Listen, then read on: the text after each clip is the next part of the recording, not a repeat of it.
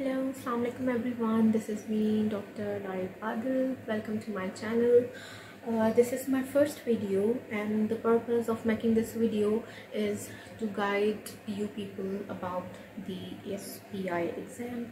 So whoever who's interested in earning ARDMS credentials or get ARDMS certified uh, whether it be a doctor, radiologist, sonologist, sonographer, or um, ultrasound physics student, they can apply for the ARDMS credentials. And uh, there is eligibility criteria which I'll be making another video to tell you guys how to be eligible or how to apply for the exam. And um, also how to take the exam. Today's video is about the preparation of SPI exam so let's get started. SPI stands for sonographic principles and instrumentation exam. Whoever is interested in earning ARDMS credentials SPI is must do a mandatory step. This is the step one. This is a, the exam that covers ultrasound physics. Uh, for any specialty exam that you want to give to earn the ARDMS credential you have to pass your SPI then only you will be eligible for ARDMS specialty exam. There are five specialities in ARDMS it contains the breast abdomen uh, gynae and obs. It contains the peds echo and adult echo for any specialty you want to go for or um, if you want to go for all the specialties you can apply and give the exam. But for that you have to uh, clear your SPI exam first. So I'll be telling you how to prepare for the exam. Um, okay so um, uh, first of all i'll tell you uh, guys about the time period. Like it took me around 75 days 2.5 months to get fully prepared for the exam. Uh, and uh, uh, okay SPI contains um, five domains ठीक है? पाँच domains होते हैं S में domain one two three four and five domain one में it contains the bio effects and quality assurance and domain two it contains sound parameters domain three transducers and its types domain four sonographic principles and instrumentation. And fifth and most important domain, the doctor and its concepts, ठीक है? Test को five domains में divide किया गया है और हर एक डोमेन की अलग अलग परसेंटेज है। आप जब A R D M S की वेबसाइट पे जाएँगे ओपन करेंगे उसको then you will get to know कि कौन से डोमेन की कितनी परसेंटेज आपके एग्ज़ाम में आएगी। Then you can prepare most important domain इनका डॉक्टर है। It contains about thirty one percent exam जो है वो आपका डॉक्टर में से आता है।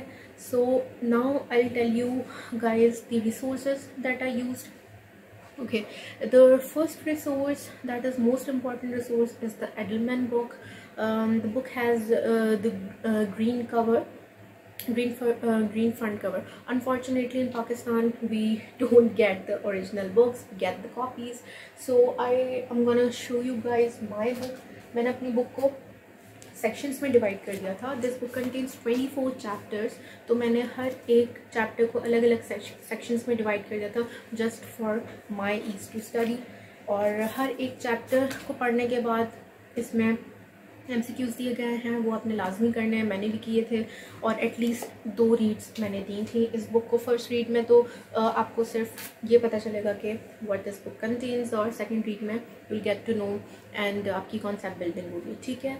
Okay okay. इस बुक के एंड में जो है वो एग्ज़ाम रिव्यू दिया गया है which contains almost six hundred M C Qs बहुत इंपॉर्टेंट एम सी क्यूज़ हैं ये, मैंने दो दफ़ा किए थे। लाजमी करने हैं। प्रैक्टिस एम सी क्यूज़ की आपने बहुत अच्छे से करनी है।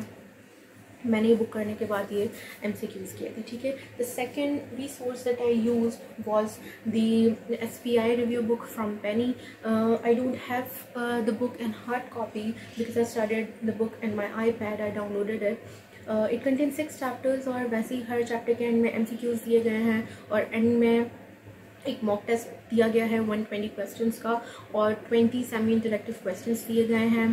तो questions really match the original questions that uh, uh from the uh, SPI exam like almost um, uh, almost five to six uh, semi interactive questions same to same थे जो मेरे SPI exam में आए थे so the penny book really helped me a lot i studied the doppler chapter from penny as well और मैंने बहुत अच्छे से इसके एम भी किए थे और this is also good book if you want to study दो रिसोर्सेज ये हो गए the third resource that I use that I made uh, these flashcards.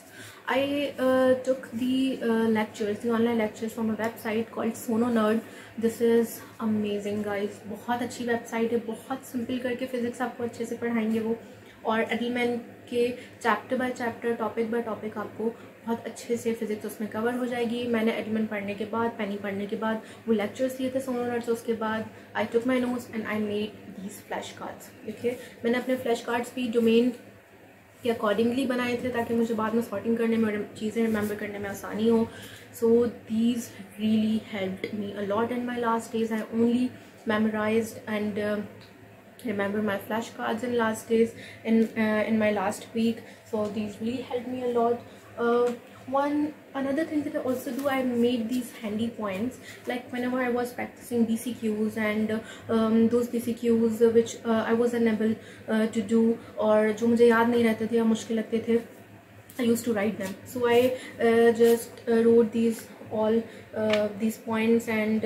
i remembered them uh, in my last days. These points also really helped me. And the last and the another resource that I used was this mini book uh, volume 1 and 2 by Mansoor Khan. This is also really good book. बहुत अच्छे से definitions इसमें short definitions दी गई हैं. After Edelman मैंने मंसूर अहमद पढ़ी थी. For me मेरे लिए एक लेंदी बुक को बार बार पढ़ना is not easy am not that person जो एक लेंदी बुक को बार बार मल्टीपल रीड्स लोग तीन से चार रीड्स भी देते हैं. मैंने सिर्फ़ दो दफ़ा पढ़ी थी एडलमैन उसके बाद मैंने मंसूर खान दो दफ़ा पढ़ी थी and it really help me it is good book बहुत अच्छे से चीज़ें आपको मेमोराइज हो जाती हैं. So this is not must do book if you want to do you want to get this book this is good one अगर आप नहीं करेंगे तो भी नो इशू ठीक है? सो मोस्ट इंपॉर्टेंट बुक जो है आपके पास you have Edelman Penny and then lectures from the Sono Nerd okay Edelman book की एक रिव्यू बुक भी है शॉर्ट बुक uh, जिसमें उन्होंने पूरी टेक्स्ट बुक को शॉर्ट करके चीज़ें उसमें डिवाइड की गई हैं। मैंने वो बुक भी पढ़ी थी। अगर आप you can have it revise करने के लिए रिविजन करने के लिए बहुत अच्छी बुक है। आप वो बुक भी यूज़ कर सकते हैं। ठीक है? So these were all the resources that I use for my exam I did not purchase any expensive mock test I did not go for any class और सेंटर मैंने घर पे बैठ के खुद प्रिपेयर किया था। और उसके बाद मैंने कुछ ऑनलाइन साइट से जो फ्री ट्रायल्स होते हैं मॉक टेस्ट के, मैंने वो लिए थे। उसमें मैंने ऑनलाइन बी प्रैक्टिस किए थे। मैंने परचेजिंग कुछ भी नहीं की थी।